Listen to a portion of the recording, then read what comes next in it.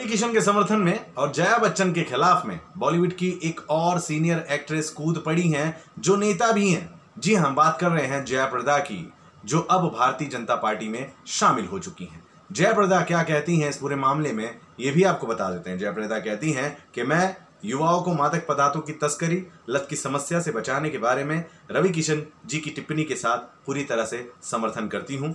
हमें ड्रग्स के इस्तेमाल के खिलाफ आवाज़ उठाने की ज़रूरत है और हमें अपने युवाओं को बचाने की भी ज़रूरत है। मुझे लगता है कि जया बच्चन जी इस मुद्दे पर राजनीति कर रही हैं। बहुत बड़ी बात। जया प्रदा ने जया बच्चन के लिए कहा है। उन्होंने कहा है कि जया बच्चन राजनीति कर रही हैं। जया बच्चन, जया प्रदा, हेमा मालिनी, एक समय के सुपरस्टार रहे हैं बॉलीवुड इंडस्ट्री के, लेकिन आज कल नेतागिरी की भी कमान संभाल रहे हैं। इनके इशारों पर लोग काम करते हैं, इन्हें लोग फॉलो करते हैं। ऐसे में जया बच्चन के खिलाफ जया प्रदा का ये बयान बहुत ही ज़्यादा वायरल हो रहा है। वैसे दोस्तों, जया प्रदा की इन बातों से क्या आप सहमत हैं? अपनी राय कमेंट बॉक्स में ज़रूर लिखिएगा, लेकिन याद रखिए कि इस वीडियो को ज़्यादा से ज़्यादा आपको शेयर करना है। फीफा फोर्स चैनल को सब्सक्राइब करना है।